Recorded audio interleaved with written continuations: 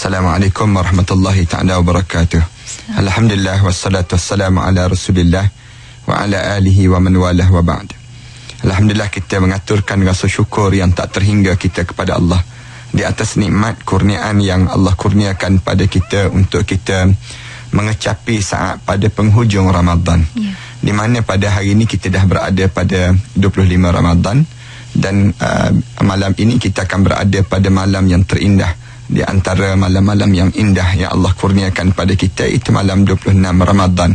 Pada malam yang yang yang disebut dalam hadis Rasulullah kamu carilah malam-malam pada 10 akhir Ramadan malam Lailatul Qadar yang digambarkan oleh Rasulullah betapa bernilainya pada malam ini. Dan Allah sebut tentang i bagaimana malam yang disebut dengan khairun min alfi syahr lebih baik daripada seribu bulan yang lain malam ini kita kalau boleh kita jangan tidur banyak. Kita banyakkan pada diri kita untuk bercakap dengan Allah. Kita banyakkan dalam diri kita untuk kita berbicara dengan Allah. Kurangkan kita bercakap dengan manusia. Kerana jarang sangat peluang-peluang sebegini kita akan dapat dalam hidup kita. Dan saya sentiasa ingatkan diri saya dan siapa saja yang mendengar ini, kita kena menganggap bahawa mungkin ini merupakan Ramadan yang terakhir dalam hidup kita kita tak ada jaminan kita akan jumpa lagi Ramadan yang akan datang. Kecuali Allah tunjukkan sayang dia lalu Allah panjangkan umurnya pada kita. Tapi kita tetap berdoa moga Allah memanjangkan usia kita. Sehinggalah sehinggalah dan sehinggalah kita diberi peluang oleh Allah untuk kita berada pada masa-masa yang terbaik dalam bulan-bulan Ramadan yang akan datang. Walaupun sekalipun kita perlu faham bahawa saat ini memang kita rasa kita dapat uh, yang disebut dengan rahmat Allah dan kita perlu pada rahmat Allah. Saya pernah sebut bahawa dalam hidup kita di antara perkara yang kita perlu dapat ada beberapa perkara yang jarang orang kita nak sebut hmm. dan orang kita nak ingatkan. Uh, selain daripada kita kena dapat dalam hidup kita yang disebut uh, keredaan Allah, kita biasa sebut kan, kita nak pada keredaan Allah. Jangan kita mati dalam keadaan kita tidak diredai di sisi Allah. Hmm. Sebab Allah Subhanahu Wa Taala sebut bila orang yang nak mati ini Allah akan hantar malaikat dan malaikat akan sebut ya ayyatuhan nafsul mutmainnah irji'i ila rabbiki radiyatan mardiyah fadkhuli fi ibadi wadkhuli jannati ya, wahai jiwa-jiwa yang tenang masuklah kamu di kalangan hamba-hambaku Udu'an ya ayyatuhan nafsul mutmainnah irji'i ila rabbiki radiyatan mardiyah. Kamu baliklah kepada Tuhan kamu dalam keadaan Allah redha pada kamu dan kamu redha kepada Allah. Maknanya redha Allah tu perlu dalam hidup kita yang pertama. Yang kedua kita kena tahu kita perlu pada keberkatan dalam kehidupan. Mm-hmm. keberkatan. Kita bukan nak duit banyak tapi kita nak duit yang berkat. Buat apa duit banyak tapi tak berkat? Dalam hidup kita bukan nak rumah yang besar tapi kita nak rumah yang berkat untuk apa rumah besar tapi penuh dengan hantu raya. Senang ceritanya. Biar rumah kita rumah yang penuh dengan keberkatan. Kemudian kita bukan nak jawatan yang hebat tapi kita nak jawatan yang penuh dengan keberkatan. Nama bukan nak nama yang glamour tak. Tapi kita nak nama yang penuh dengan keberkatan apa nilai kita mempunyai follower berjuta-juta tapi tak berkat langsung follower yang kita dapat. Dan kita perlu kepada follower kita yang sentiasa dalam keadaan yang dia sentiasa diberkati dan kita memberkati antara satu sama lain. Dan ini pun yang kita kena faham. Waktu mana kita bangun daripada tidur saja kita sentiasa sebut dalam doa kita wabarik lana fi ma a'tait. Ya Allah tolong berkatkanlah pada kami dengan apa yang kamu kurniakan dalam hidup kami Dua. Yang tiga, kita perlu dalam hidup kita yang disebut dengan uh, yang dinamakan dengan rahmat Allah. Mm-hmm. Rahmat Allah ni perlu pada dalam hidup kita. Rahmat ni maksudnya apa dia? Rahmat ni maksudnya belah kasihan Allah. Allah mula kesian pada kita. Dalam hidup kita ni, kita ni kira-kiranya dalam hidup kita saat-saat sebegini kita kena bayang kita tak mampu pun untuk nak masuk dalam syurga Allah dengan dengan amalan-amalan yang kita buat. Tetapi kita kena faham, kita boleh masuk syurga Allah dengan rahmat Allah. Allah rasa kesian pada kita. Kesian sebagaimana bila seorang ibu yang dia kesian pada anak dia. Dia angkat anak dia, kemudian dia kucup dahi anak dia. Walaupun anak tu berbau busuk macam mana sekalipun. Kenapa? Kerana dia rasa ada rahmat tadi. Rahmat ni perlu dalam hidup kita ni. Kadang-kadang kita ni malaskan buat amal ibadah kita ni bukannya banyak pun uh, perbuatan yang kita lakukan dalam hidup kita yang kita ni mampu untuk melayakkan kita dalam syurga Allah. Kita nak bangun tahajud payah. Kita nak bangun yang disebut dengan uh, semayang semayang terawih pun payah. Kita sentiasa cari terawih yang baca inna a'tayna inna anzalna. Kita demikian. Kita tak rasa bahawa kita nak semayang terawih lama-lama, berdiri lama-lama. Uh, maknanya, tapi dalam masa yang sama, kita nak ke syurga Allah kita perlu syurga Allah dalam hidup kita.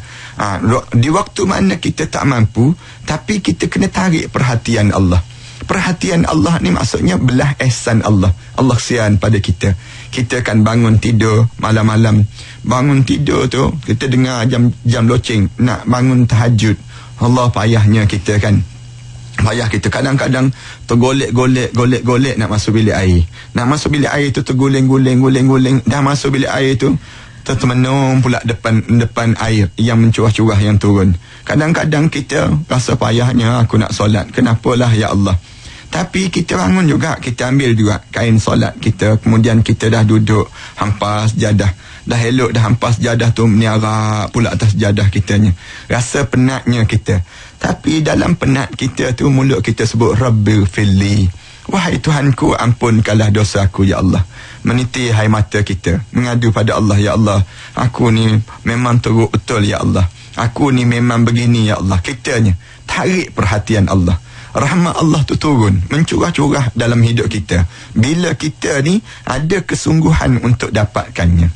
Bila para pendengar yang hormat sekalian sekarang sekarang ni para pendengar mesti tarik perhatian Allah untuk kita ni biar Allah ni rasa kesian pada kita. Dalam dalam hidup kita kena buatlah muka macam mana pun. Bahkan Rasulullah kata kalau kamu tak boleh menangis kamu buat-buat menangislah. Di, di saat sebegini kamu berdoa pada Allah kamu minta pada Allah angkat tangan bagi tahu pada Allah ya Allah dosa aku ni menggunung ya Allah banyak dosa aku tak terbilang dalam hidup aku dengan dosa-dosa yang banyak. Kalaulah aku mati ya Allah macam manalah aku di saat mana aku menghadap depan kamu nanti ya Allah. Bila aku seorang-seorang dalam kubur nanti ya Allah. Boleh tak aku jawab pertanyaan malaikat-malaikat muka dan akhir itu ya Allah. Bila kita berada pada malam yang pertama kita di alam barzah nanti. Boleh tak kita bertemu dengan arwah ayah kita. Bertemu dengan uh, arwah-arwah anak kita yang telah meninggal dunia. Bertemu dengan mereka yang telah meninggal dunia sebelum diberi kita di iliyin itu. Yang ni yang menyebabkan pada 10 terakhir Ramadan ini kita kalau kita hidup laukana bainana al-habib kalaulah kita hidup bersama dengan Rasulullah sallallahu alaihi wasallam kita akan dengar esakan dan tangisan Rasulullah sallallahu alaihi wasallam. Rasulullah menangis teresak-esak sahabat-sahabat menangis. Masing-masing dalam keadaan sendu. Masing-masing dalam keadaan rindu. Rindu apa dia? Rindu untuk menunjukkan rasa sayang dan cintanya kepada Allah Ha, ni nak sebut gambaran bagaimana kitanya sudah dikurniakan oleh Allah yang disebut dengan sakinah. Ketenangan dalam kehidupan. Allah kurniakan pada kita kehebatan dalam kita ketaatan pada perintah Allah Subhanahu Taala. Menunjukkan kita ni memang kita nak bersedia untuk kita nak menghadap dengan Allah bila-bila masa. Ha, sebab tu 10 akhir ni jangan kita tertinggal. Tetapi saya suka nak sebut pada kali ini untuk kita berbicara tentang mengenai bagaimana kitanya saat-saat terakhir sebelum kita menghampiri Aidilfitri dan di saat mana kita di Aidilfitri. Kerana ramai di kalangan kita tahu bahawa bila kita berada pada penghujung-penghujung begini, kebanyakan di kalangan yang hidup dan yang mati semuanya menangis. Kerana semuanya ketakutan. Ketakutan apa? Orang mukmin dia akan menangis kerana takut kalau kalau Allah tak ampunkan dosa mereka. Kemudian orang yang mati dalam kubur, orang dalam kubur, dia sebut alangkah untungnya kamu orang yang hidup. Dia akan sebut untungnya kalau kami dikembalikan balik hidup. Orang yang dalam kubur tu sebut Allah dia kata kalau hampir berakhir Ramadan maknanya berak, kembalilah balik kami ke dalam keadaan suasana yang sebelum daripada Ramadan. Kita tanya sebelum Ramadan ni macam mana? Orang yang orang yang berada dalam kubur. Orang yang sudah menghadap di hadapan Allah. Ulama-ulama sebut kebanyakan mereka sebelum Ramadan. Mereka yang diberi nikmat, diberi nikmat. Mereka yang diazab, diazab dan diazab. Tetapi tak kala mana masuk saja satu Ramadan, berada pada satu Ramadan, orang dalam kubur semuanya dirahmati dan diberkati di sisi Allah kebaikan Ramadan. Ramadan ini bukan kebaikan untuk peniaga-peniaga saja tidak. Ramadan ini bukan untuk orang yang hidup di atas kubur saja tidak. Bahkan Ramadan ini membawa kebaikan untuk orang dalam kubur. Mereka gembira dengan datangnya Ramadan. Bila penghujung Ramadan, kesedihan mereka terlampau amat sangat. Kita tak rasa. Tetapi bila kita berada dalam kubur nanti, kita akan rasa. Sekarang kita tak rasa tentang bagaimana nikmatnya berada di saat mana kita berada pada berada dalam bulan Ramadan ini. Tetapi bila kita berada dalam kubur, kita boleh dapati bagaimana untungnya kalau sekiranya anak-anak yang soleh yang mendoakan kita. Bagaimana untungnya di saat ini bila kawan-kawan yang baik yang hidup di atas dunia sentiasa menghantar pahala-pahala dengan doa-doa yang baik untuk diri kita. Ni orang dalam kubur. Orang dalam kubur ni orang yang terlampau nak sangat kepada orang yang hidup di atas dunia membantu padanya saat sebegini. Banyak hadis-hadis yang cerita tentang mengenai bagaimana keadaan mereka dalam kubur saat mana beramadan. Tapi kali ini kita nak tak sempat nak cerita tentang mengenai bagaimana keadaan mereka itu. Cuma saya nak sebut tatkala mana kedengaran yang disebut dengan kedengarannya takbir raya, kedengaran takbir raya berakhirnya Ramadan, orang dalam kubur kembali balik pada asal dalam hadis-hadis Rasulullah cerita tentang perkara demikian. Kita kembali balik dalam suasana yang digambarkan tentang bagaimana dia berada dalam keadaan sebelum daripadanya. Ha, di waktu itulah Rasulullah sallallahu alaihi wasallam mula mengingatkan kita supaya kita menjaga hati kita supaya jangan mati hati pada malam Aidilfitri. Jaga hati ni kalau para hadiskan baca dalam hadis Rasulullah sallallahu alaihi wasallam hadis yang di mana Rasulullah sallallahu alaihi wasallam gambarkan tentang betapa besarnya nilai pada malam malam-malam yang namakan dengan malam bulan Ramadan ini. Uh, Rasul um, malam Aidilfitri ini Rasulullah sallallahu alaihi wasallam sebut. Misal contoh yang saya nak sebutnya kita diajar supaya jaganya pada malam ini. Antaranya hmm, katanya Rasulullah sallallahu alaihi wasallam nak gambarkan hmm, katanya Rasul an Khalid bin Mi'dan qala laqaitu لقيت وسالة الأشقى في يوم في يوم عيد فقلت تقبل الله منا ومن ومنك تقبل النعمة تقبل تقبل الله منا ومنك ini hadis ni hadis yang cerita tentang mengenai bagaimana kita diajar supaya bila kita berjumpa je kita sebut taqabbalallahu minna wa min aminkum taqabbal ya karim ini sendiri malam pada malam hari raya ini Rasulullah sallallahu alaihi wasallam mula gambarkan tentang mengenai bagaimana kita diajar supaya kita jaganya jangan jangan kita lupa pada Allah. Ini di antaranya. An Abi Umamah an Nabi sallallahu alaihi wasallam qala man qama lailatul aidain muhtasiban lillahi lam yamut qalbuhu yawma tamutul qulub. Rasulullah sallallahu alaihi wasallam sebut hadis ini diriwayatkan oleh Ibnu Majah. Rasulullah kata siapa-siapa yang membangunkan pada malam hari raya bangun mak, maksudnya qiyamul lail pada dua malam Aidil Fitri dengan Aidil Adha dengan keadaan yang dia muhtasiban lillah. Dia buat betul-betul kerana Allah. Lam tam, lam yamut qalbahu yauma tamutul qulub. Rasulullah kata tidak akan tak akan mati hatinya di saat mana dimatikan hati-hati manusia. Ayat ni yang kita maksudkan. Bila hati kita ni mati? Ramai di kalangan kita tanya bila ustaz? Hati ni akan mati bila ulama-ulama kata ada lima tempat hati ni akan mati. Lima tempat hati kita ni boleh mati. Yang pertama, katanya para alim ulama, matinya hati bila kita melihat malaikat maut datang untuk mencabut nyawa kita. Mula kita lihat malaikat maut nak datang untuk cabut nyawa kita, mati hati. Hati kita ni jadi orang panggil bela. Orang Melayu kita panggil kosong. Hmm. Tengok malaikat maut ni, kita terkejut, tergamam. Saya biasa sebutkan, kita kan kadang-kadang sahabat-sahabat kita yang kita dengar kan sahabat-sahabat kita mati kan kita terkejut kan. Allah mati kita sebut demikian. Macam mana dia boleh mati? Semalam. Elok-elok lagi semalam baru kita jumpa. Kita terkejutkan dengan kematian dia. Yang mati itu lagi terkejut. Yang mati itu terkejut kerana apa dia? Dia pun kaget. Yang dia kena menghadap di hadapan Allah di saat itu. Ha, yang ini disebut bila kita tengok saja melekat maut ini kematian hati itu berlaku kita jadi kosong perasaan pada diri kita. Itu yang pertama. Bagaimana nak suruh kita ni jangan bagi mati hati kita. Mm-hmm. Saat itu hidupkan malam hari raya. Hidupkan dengan apa dia takbir, tasbih, tahmid, dan juga kita tahlil dalam diri kita ni sentiasa riuhkan rumah kita ni dengan takbir, tahmid dan tasbih pada Allah. Ha, ni jangan tertinggal para pendengar riuhkan kita zaman-zaman kecil, kita kecil-kecil dahulu kan kalau di kampung itu kedengaran bagaimana budak-budak takbir. Hmm. raya ni dalam keadaan riuh sahabat-sahabat kemudian di kalangan tabi'in tabi'in mereka bila malam hari raya je mereka akan bertakbir dalam pasar-pasar di jalan-jalanan. Mereka akan sibuk memberitahu bagaimana Allah kurniakan kita hari raya ini sendiri. Yang pertama. Yang kedua bila hati kita mati bila hati kita mati? Bila kita ni ulama-ulama kata bila kita melihat bila jenazah kita mula turun ke liang lahat. Bila jenazah turun ke liang lahat mati hati kita. Kita tengok saja suasana alam yang disebut dengan alam barzah itu menyebabkan hati kita ni tak tahu nak buat apa. Kita kenapa? Kerana lihat keadaan yang huru hara dan juga dalam keadaan kelam kabut dalam suasana itu kita kan kita hidup dalam kandungan ibu dulu. Kita rasa dah luas dah dalam kandungan ibu. Suatu ketika dahulu kita pusing-pusing kita dalam keadaan kita menendang-nendang perut ibu kita. Seronok dalam kandungan ibu. Kita rasa dah luas.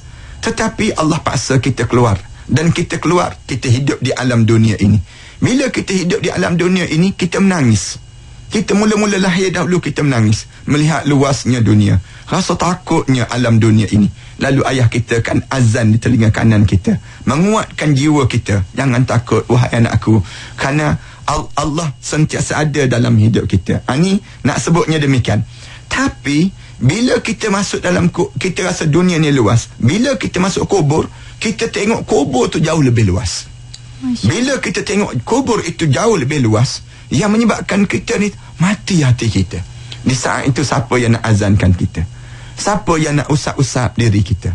Tak ada siapa kecuali amalan kita yang boleh mengusap diri kita melihat keluasan kubur yang menakut dan menggerunkan itu. Yang kita pula datang seorang-seorang bila kita mati. Waktu itu hati kita menjadi mati. Ulama-ulama sebut tengok je saat tersebut tengok dengan malaikat muka dan nakir berdiri pula kegerunan kita ni kemudian yang menyebabkan ketakutan kita mati hati.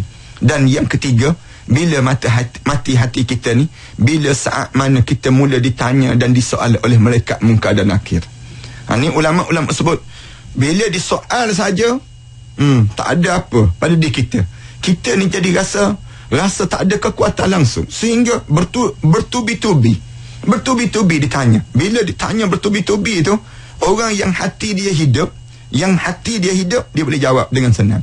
Tapi orang yang hati dia mati bila tanya lagi Um, lagi dia tak boleh jawab. Lagi bela. Lagi bela. Dia kadang-kadang kan kita tengok anak-anak kita. Bila kita tengking dia. Anak-anak kita ni bila kita tengking dia. Lagi dia senyap. Lagi kita tengking dia lagi senyap. Dia ada jawapan tapi dia tak boleh nak jawab. Kenapa? Kerana ketakutan dia luar biasa. Dengan tengkingan yang dilakukan oleh yang disebut dengan orang yang lebih berkuasa daripada dia. Yang menyebabkan dia waktu ini hati ini boleh mati. Lalu bagaimana nak suruh hidupnya hati kita di saat itu ulama-ulama kata tolonglah kamu hidupkan malam hari raya dengan takbir tahmid dan tasbih dan kita kejutkan keluarga kita bangunkan mereka untuk kita nak jaga kita dengan Allah Subhanahu wa taala ini sendiri tiga dan yang keempat hati kita ni boleh mati bila di saat mana kita dalam keadaan yang kita bangkit dan melayangnya suratan amalan manusia di padang mahsyar. Melayang suratan amalan yang ni kita belum bincang lagi. Tentang pertanyaan bagaimana melayangnya suratan amalan manusia. Dalam hadis Rasulullah cerita bila melayangnya suratan amalan itu tak ada perasaan. Manusia ni rasa rasa dalam keadaan yang kosong. Allah takut. Tengok tangan kanan ke tangan kiri yang tergerak kalau tangan kanan yang tergerak confirm-confirm ahli syurga tapi kalau tangan kiri yang tergerak tangan kanan tak terangkat langsung memang confirm ahli neraka. Wa amma man utiya kitabahu bi yamini. Ha, ini dalam ayat Al-Quran Al-Karim sebut. Ada pun orang yang diberi amalan kitab dia sebelah tangan kanan. Ada orang yang diberi amalan dia sebelah tangan kiri. Fasawfa yadu'u subura wa yasla sa'ira. Ada orang yang diberi amalan dia sebelah tangan kiri tu. Dia meraung bertempik tu.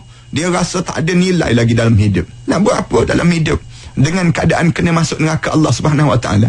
Ini nak sebutnya dia dalam keadaan demikian perasaan dia pun mati. Perasaan kita ni pun mati di saat demikian. Kemudian yang akhir sekali bila hati kita ni boleh mati yang Rasulullah pesan sangat hidupkan malam Aidilfitri. Dia diajar pada kita dengan yang yang kelimanya bila kita melalui titian sirat. Kita berjalan nak melalui titian sirat tak mudah para pendengar yang dihormati sekalian. Saya baca dalam hadis-hadis Rasulullah sallallahu alaihi wasallam, saya lihat amalan saya dengan yang kita lakukan ini, saya rasa terlalu sukar untuk kita nak melalui yang disebut dengan titian sirat itu. Kalaulah tidak kerana belah kasihan Allah untuk kita, rahmat Allah untuk dia kita, tak mungkin kita boleh lalui. Kerana bayangkan bagaimana kecilnya titian sirat itu. Bagaimana nipisnya. Rasulullah kata, nipis dan kecilnya titian serak yang kamu kena lalui ini dalam keadaan yang selai rambut yang di belah tujuh dan tajam lebih tajam daripada mata pedang dalam keadaan bengkam bengkok dalam kegelapan dengan hiruk pikuk bauan busuk dan sebagainya yang berada dalam ngawan ngauman api neraka sedang menarik menarik untuk jatuh ke dalam neraka Allah. Dalam keadaan demikian kalau kita tidak ada rahmat Allah kita tak mungkin untuk kita lepas. Titian serat kita mampu untuk waktu kita tengok saja orang lalu saja seorang jatuh dua jatuh tiga jatuh. Idza ulqu fiha sami'u laha syahiqan wa hiya tafur Allah cerita bila dalam keadaan yang manusia tu dah jatuh dalam api neraka tu lalu Allah Allah cerita kamu akan dengar syahiqan wa hiya tafur. Apa neraka tu bunyi rak rak rak rak bunyi marak tu nak tarik manusia dalam keadaan dalam keadaan yang bunyi tafur dalam keadaan hancur lebur takadu tamayyazu minal ghais. Ketika mana dalam keadaan yang sedemikian rupa itu nak sebutnya kullama ulqiya fiha faujun sa'alahum khazanatuha. Datang penjaga neraka ditanya alam ya'tikum nadhir? Eh atas dunia dahulu tak ada ke orang yang bagi peringatan untuk diri kamu? Bagaimana kamu nak hidup di, di antara saat-saat sebegini? Lalu mereka jawab Qalu bala. Dia jawab, ya ada atas dunia dahulu ada orang mengajar. Ada orang buat kuliah. Dengar radio Aikim dulu disebut. Dengar tu kuliah. Tapi, tapi uh, dia kata qalu bala. Qad ja'ana nadhir. Datang dah peringatan dalam hidup kami. Rasulullah kata ada 99 peringatan Allah yang Allah jadikan sebelum daripada kita dimatikan oleh Allah. Allah jadikan dalam hidup kita ni 99 perangkap, perangkap, perangkap untuk Allah nak matikan kita. Tapi sayangnya kita ni qad ja'ana nazir fakadzabna. Sayangnya kita ni dusta, tak peduli, tak ambil berat pun. Kita tak ambil berat pun. Pentingnya aku berada dalam keadaan yang saleh dalam hidup. Pentingnya aku untuk membetulkan jalan hidup dalam hidup ini. Kita tak rasa demikian. Ha, ni waktu ni katanya katanya mereka dalam keadaan demikian habislah hancur leburlah kamu. Ha, ni lima keadaan hati manusia boleh mati. Para pendengar yang dihormati sekalian, bila malam hari raya kita hidupkan dengan amalan-amalan yang baik. Dengan tujuan apa dia? Amalan-amalan ini bukan untuk diri kita aja, untuk arwah ayah kita, untuk mereka yang telah meninggal dunia itu. Kita angkat tangan, panggil anak-anak kita, mari kita berdoa untuk arwah mak kamu. Mari kita berdoa untuk arwah ayah kamu. Mari kita berdoa untuk arwah-arwah datuk kita dan bakal-bakal arwah. Kita lah bakal-bakal arwah ni. Maknanya kita doakan untuk diri kita sama. Mari kita doa supaya kita selamat bila kita di Adam yang disebut dengan kuburan itu. Sehingga kan kita tertidur dalam keadaan zikir-zikir di mulut kita yang tak henti-henti untuk meraih rasa belas dan ihsan Allah untuk diri kita. Bila kita bangun saja pada pagi hari raya, mm-hmm. yang pagi hari raya ini, bangunlah dengan keadaan yang kita bergegas untuk menyucikan diri kita dalam keadaan kita mandi sunat Idul Fitri. Andi ajar supaya kita lakukan demikian. Bangun mandi sunat Idul Fitri. Jiro saya di atas tubuh dan niat. Ya Allah, gugurkanlah dosa aku ya Allah. Sebagaimana hari ini aku kembali fitrah ya Allah. Ini cara yang kita dilakukan demikian. Tak payahlah usalli-usalli dalam milik air. Tak payahlah kita ada makmuman ke imaman kita dalam bilik airnya. Jangan. Maknanya bila kita dalam bilik air itu, kita dah mula mandi dan kita bersihkan pada diri kita. Lepas pada kita bersihkan diri kita ini, kita diajar supaya bergegaslah untuk solat subuh berjemaah. Wahai para pendengar yang dihormati sekalian. Terutamanya siapa? Terutamanya bagi orang lelaki. Mhm. Orang lelaki tolong pergi semayang subuh berjemaah. Jangan kita ni datang semayang raya datang, subuh tak datang. Malu kita pada Allah. Malulah kita pada para malaikat Allah. Subuh yang wajib, semayang raya tu sunat je. Orang kita ni kadang-kadang dia tak rasa bahawa keperluan untuk dia datang semayang subuh berjemaah. Datang subuh berjemaah tu penting pada diri kita. Orang lelaki arahkan supaya pergi. Pergi kenapa dengan tujuan saya sebut pun pagi tadi pun saya sebut di Masjid Negeri Shah Alam. Saya gambarkan pergi semayang subuh berjemaah ni dengan tujuan untuk ambil tiket untuk kita datang semayang-semayang raya nanti. Bawa untuk keluarga kita. Ha, itu cara demikian. Satu ini amalan yang dilakukan oleh Rasulullah dan para sahabat. Nak suruh kita jaga, jaga pada kita solat subuh berjemaah. Selesai saja solat subuh berjemaah, kita ada peluang. Ada masa dan Rasulullah pesan supaya kitanya di waktu tersebut untuk kitanya buat beberapa amalan-amalan yang baik yang kita boleh lakukan. Antaranya salah satunya ialah kita makan makan pada pagi pagi pagi raya kita duduk makan ramai-ramai makan ramai-ramai seorang bapa tolong ambil makanan. Suap ke mulut anak menantu dia seorang-seorang. Suap suap seorang-seorang. Ha, ini di antara amalan yang baik yang untuk kita lakukan. Dalam di saat mana pagi-pagi hari raya. Di waktu inilah kita akan rasa nikmatnya berkeluarga. Seorang suami suap ke mulut ke mulut isterinya. Cuba try nak tengok. Sekali raya ni. Rasulullah kan Rasulullah pernah ambil makanan. Rasulullah punya-punya makanan. Rasulullah punya-punya Rasulullah panggil Aisyah. Ta'ali Aisyah Datang dekat sikit wahai Aisyah. Aisyah datang dekat Rasulullah. Iftah pamik. Buka bibir kamu wahai Aisyah. Aisyah pun buka bibirnya. Bila Aisyah buka je bibir, Rasulullah ludah dalam mulut Aisyah. Aisyah telan makanan yang telah dikunyah oleh Rasulullah wasallam. Cuba try buat suami-suami sekalian. Cuba kita try rasa rasa isteri kita angkat tangan dua-dua belah tak kena gaya. Tobat nasuha tak kena gaya. Tak nak bang, tak tak selera langsung. Kenapa? Kerana hmm, dah lah gigi tak gosok, Isap rokok pula tu disebut demikian. Maknanya kita hilang kerahmatan dalam kekeluargaan. Cuba kita buat benda-benda yang sedemikian rupa. Ambil makanan suap. Suap sekali seorang je. Bukannya banyak kali pun. Janganlah suap je sampai tak termakan kita. Tak. Maksudnya kita suap ke mulut anak-anak kita. Dan apa yang dilakukan oleh Rasulullah. Ada satu riwayat yang cerita. Rasulullah waktu mana pagi raya pernah Rasulullah ke kuburan. Rasulullah sallallahu alaihi wasallam pergi ke kubur di perkuburan Baqi'. Rasulullah baca doa kepada dalam dalam kitab cerita tentang ada hadis-hadis yang cerita tentang mengenai bagaimana keadaan ruh-ruh diletakkan di atas kuburan masing-masing. Menunggu doa-doa anak yang saleh. Di saat mana menunggu doa-doa anak yang saleh yang doa-doa di kalangan keluarga ini sendiri. Kalaulah kita boleh waktu tersebut kita ziarah-ziarahlah kesempatan kita dan tidak menjadi halangan pun dalam Islam. Islam tak jadi pun satu halangan. Siapa yang nak ziarah, ziarah. Siapa yang tak nak ziarah, diam-diam sudahlah. Jangan sibuk nak tuduh orang Yahudi macam gaya itu dan sebagainya tak payah. Mana kalau kita nak kalau kita sempat buat. Kerana waktu ni waktu yang sesuai untuk kita lakukan amalan-amalan yang baik untuk kita lakukan pada mereka itu sendiri. Ziarah kubur dan sebagainya. Ataupun kita keluarkan zakat fitrah.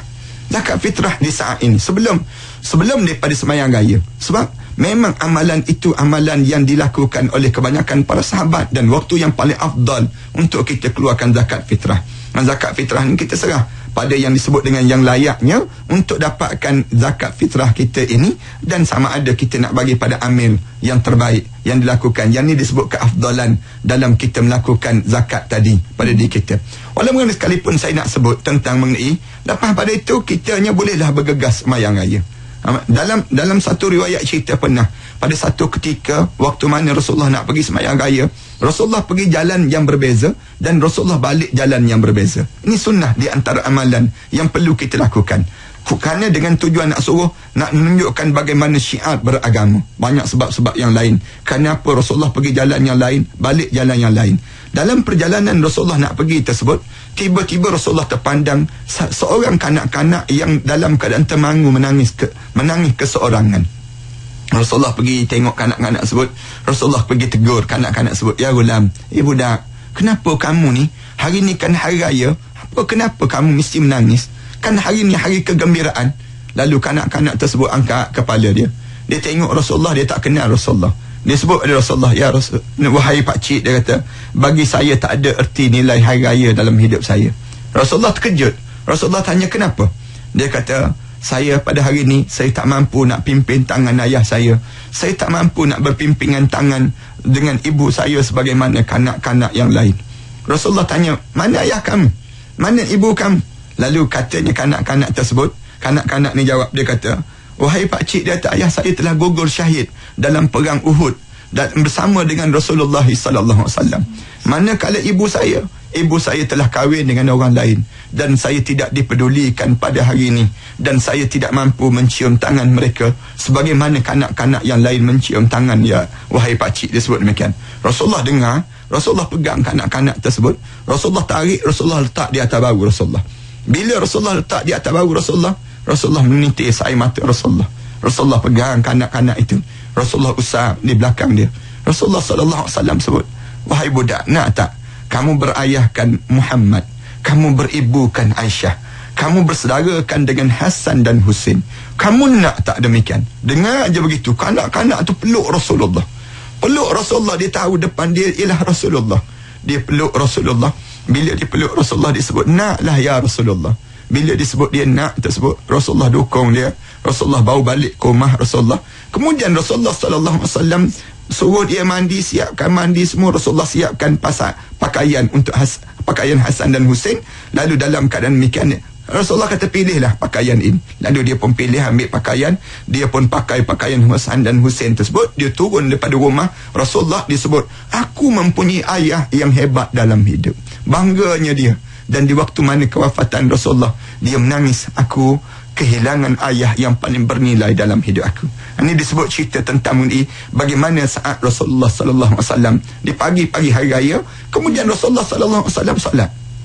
Solat raya dan kita pun sama. Kemudian disunatkan kita lewat sikit semayang raya. Tak sama dengan hari raya Aidil Adha. Aidil Adha kita diminta supaya cepat. Tapi Aidil Fitri kita diminta supaya lewatkan. Kenapa lewatkan? Dengan tujuan nak bagi ruang-ruang tadi. Kemudian dalam keadaan yang demikian, kemudian kita diminta supaya ziarah menziarahi amalan-amalan yang terpuji di kalangan kita dan akhirnya kita kembali dalam keadaan fitrah. Moga hati kita hidup dalam keadaan demikian. Ya para pendengar, mari kita berdoa. Mudah-mudahan Allah kurniakan kita doa yang mustajab, saat yang mustajab dan diaminkan oleh para malaikat Allah. Amin. Dan kita doa sebenarnya Mauizati ini telah bersiaran hampir setahun. Di mana dalam bulan Ramadan pada tahun yang sudah kita mulakan program kita. Mm-hmm. dan kali ini dah berakhir Ramadan maknanya setahun kita berada dalam siri-siri setiap minggu bersama dengan saya. Walau mana sekalipun kita harap supaya Allah rahmati kita dan Allah jadikan amalan ini di antara amalan yang saleh. Di kalangan kita dalam kita berada di saat-saat yang terbaik ini dan Allah jadikan kita di kalangan orang yang terpilih pada malam-malam yang terpilih Bismillahirrahmanirrahim. Alhamdulillahirrabbilalamin. Wassalatu wassalamu ala ashrafil anbiya wal mursalin. Wa ala alihi wa sahbihi ajma'in. Allahumma gfir zunubana wa li abaina wa li ummahatina wa li ajdadina wa li masyaikhina wa li jami'il muslimin wal muslimat wal mu'minina wal mu'minat al ahya'i minhum wal amwat. Ya Allah ya Tuhan kami, ampunkanlah dosa-dosa kami ya Allah dosa besar kami dan dosa kecil kami ya Allah. Dosa yang sengaja dan dosa yang tidak sengaja kami lakukan dalam hidup ini ya Allah. Ya Allah ya Tuhan kami kali ini ya Allah kami berada pada penghujung Ramadan ini ya Allah. Saat yang terindah dalam hidup kami ya Allah. Kami pohon pada kamu ya Allah.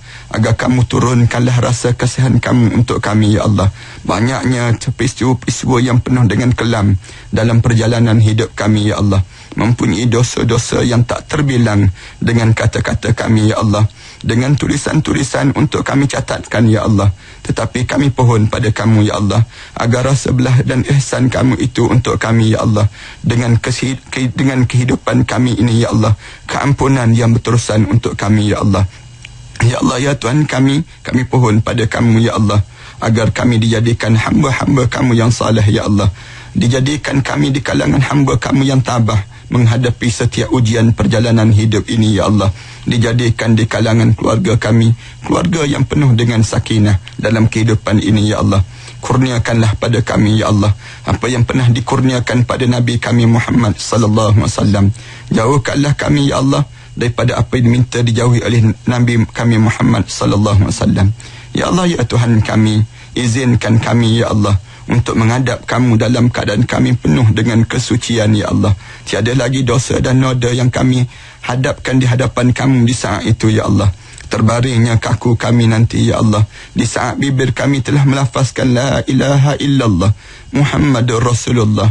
Ya Allah ya Tuhan kami saat mana kami mula dimandikan jenazah kami nanti ya Allah kamu jadikanlah kami ya Allah guguran dosa di saat mana kami dimandikan itu ya Allah di saat mana kami mula dikapankan nanti ya Allah kamu jadikanlah ya Allah amalan kami memutih di waktu itu ya Allah. Menutupi kain kapan kami ya Allah. Menjadikan kami sebahagia-bahagia manusia untuk dihadapkan di hadapan kamu ya Allah. Di saat mana kami terbaring kaku di kuburan itu ya Allah kami pohon pada kamu ya Allah agar dijadikan kami ya Allah kubur kami di antara taman-taman syurga ya Allah. Jauhkanlah kami daripada kawah kepada kawah-kawah neraka ya Allah. Jadikanlah malam tama kami malam yang terindah dalam hidup kami untuk kami menemui arwah ayah kami ya Allah. Arwah datuk nenek moyang kami ya Allah. Arwah-arwah yang telah meninggal dunia sebelum daripada kami di ya Allah. Ya Allah kerinduan kami kamulah yang mengetahuinya ya Allah. Rindunya kami terhadap arwah ayah kami ya Allah. Yang mengasuh kami dan membelai kami ya Allah.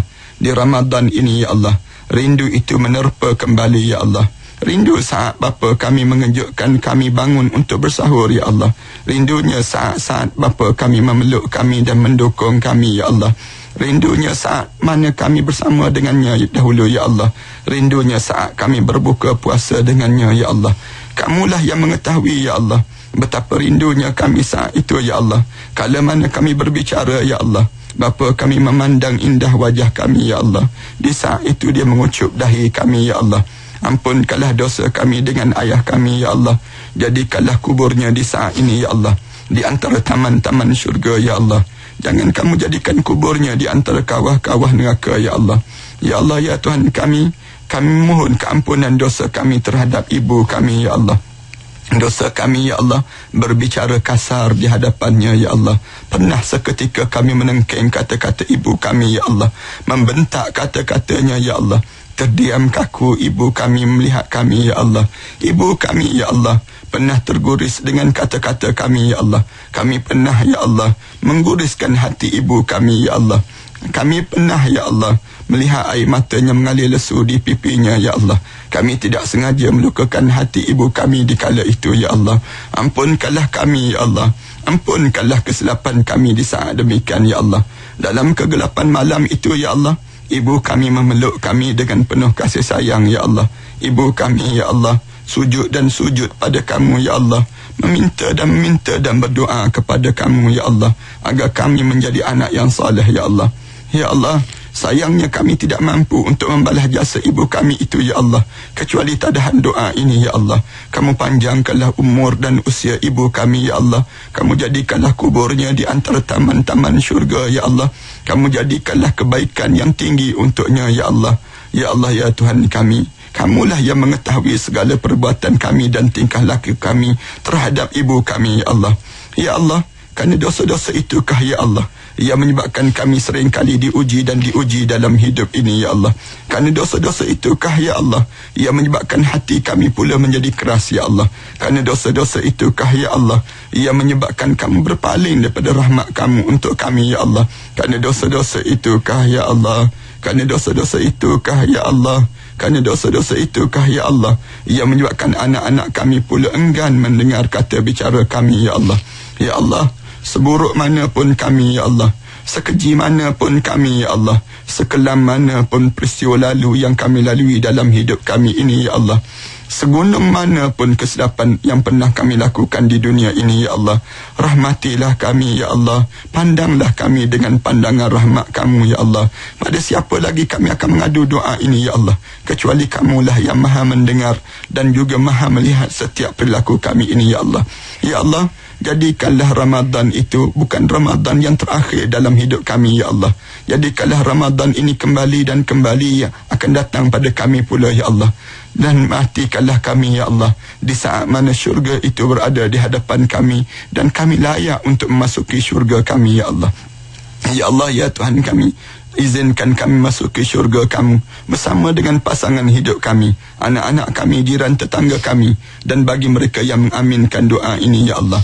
Ya Allah ya Tuhan kami, izinkan kami berada dalam syurga kamu, bersimpuh di sisi Nabi kami Muhammad sallallahu alaihi wasallam, mencium jari jemarinya, mengucup dahinya, memeluk tubuh badannya. Ya Allah, izinkan kami meletakkan kepala kami di atas ribaannya ya Allah melihat wajah kamu yang terindah di dalam syurga nanti ya Allah Rabbana alaika tawakkalna wa ilaika anabna wa ilaika al-masir ربنا آتنا في الدنيا حسنة وفي الآخرة حسنة وقنا عذاب النار صلى الله على محمد وعلى آله وصحبه وسلم الحمد لله رب العالمين